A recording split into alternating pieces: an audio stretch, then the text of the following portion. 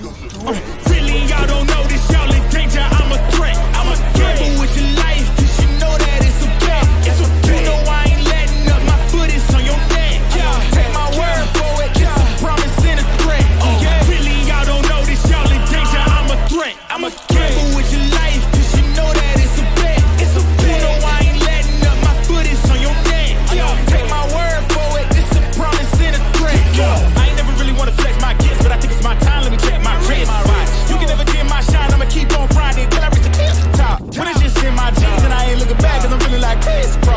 never slow me down, but they need to hate me. Now I'm feeling like Chris. Rock with the team, cause you know that we winning, we with it.